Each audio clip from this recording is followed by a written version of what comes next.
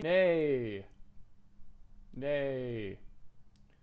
Um, I don't like GDC because I feel like it's exploitative. I feel like basically it's kind of like a slave labor racket, right? They have a bunch of people prepare and deliver talks for free. Um, a lot of people spend a lot of time on those talks.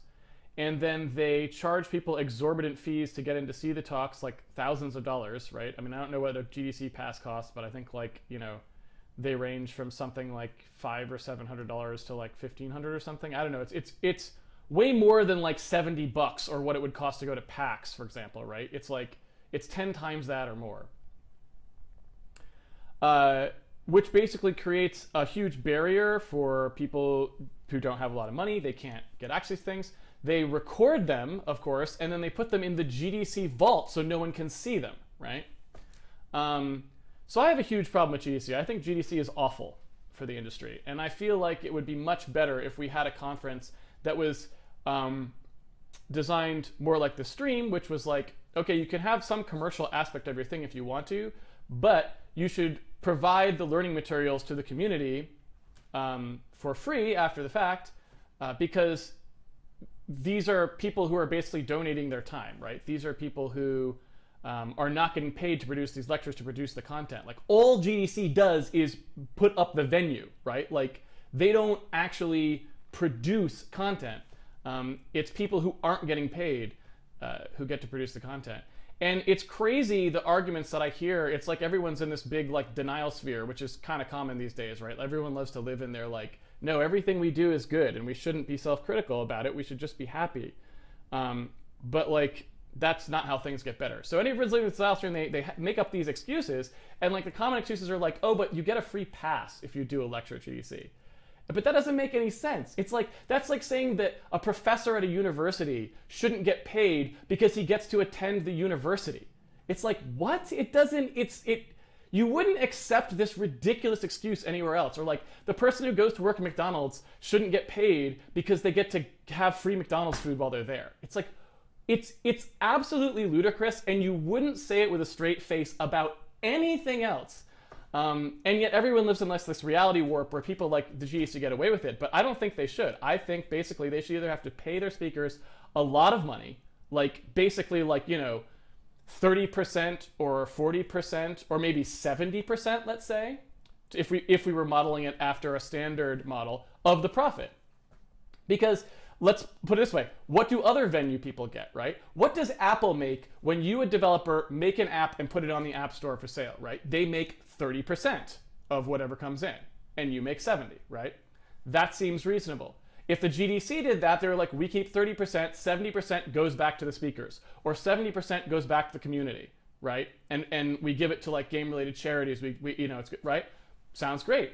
But no, they keep 100% of the profits. Some speakers get paid, I think, like get honorariums, like big speakers, you know, um, like uh, people who are famous or whatever, right? Uh, you know, uh, uh Shigeru Miyamoto comes, right? They pay his travel expenses and whatever, you know, that kind of stuff. But most speakers aren't getting paid at all. Um, and those, those famous people are not getting paid commensurate uh, with the kind of take that the GDC is making. I mean, you should go, go look up CMP's financials. The GDC is one of their biggest conference money makers. I mean, they make massive amounts of money on this, and they just keep it all for themselves. And they keep it all for themselves. They don't even do the community the, the, the um, favor of putting the lectures up for free afterwards. They refuse to even do that, even though they're making, like, I mean, we're talking millions and millions of dollars they're making off this conference. They could not even be um, nice enough to put the lectures up for free after the fact. And uh, they charge $500 for access to the GDC Vault, right? Like, again, putting up barriers to people learning uh, about game development. And it pisses me off because it's like, I really just don't, you know, it, I feel like there's such a lack of awareness of how much harm that's doing. I mean, don't you want to teach people about game development? Don't you want to foster this, you know, kind of thing? Can't we have a conference where it's not about extracting the maximum amount of money out of the attendees and is instead taking advantage of the fact um, that uh, all of these speakers are willing to speak for free, take advantage of that for positive, for a good thing, instead of a company just trying to siphon as much money out of it as possible to pad their own uh, shareholder bottom line, right? Which is what it is. It's a publicly traded company. Um, that's why I was able to look up the financials when I did. Um, so yeah, I have nothing but bad things to say about the treaty. I think it's awful, um, and I would love to see someone replace uh, that as the, the standard industry conference that was a a good nonprofit conf, uh, not nonprofit conference that was actually trying to do a good thing as its mission instead of trying to make the most money uh, as its mission because I think it would make a really big difference for people who are trying to learn game development, like the kinds of people who come to this stream. Um, and so, you know, I don't know what to say. I have nothing but bad things to say about it, and it, it upsets me, as you can obviously see. And I wish we would do something about it.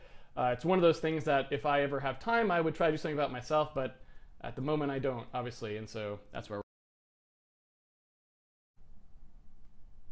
give GDC panels. Those are good, right? I think the speakers at GDC are great.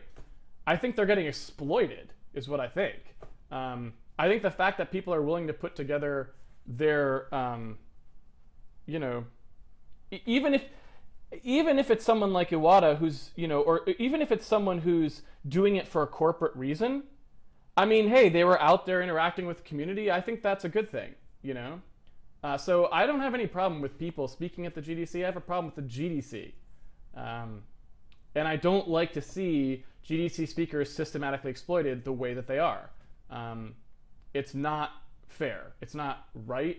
Um, and it shouldn't be that way because uh, you know, the alternatives I think would be very good. The alternatives would be uh, for uh, to take all that money that's getting siphoned out right now and give it back to the community, so that either passes could cost a lot less, so more people could get in who were you know poorer, who could couldn't can't afford these, who maybe are beginning game developers, don't have money, um, that kind of stuff.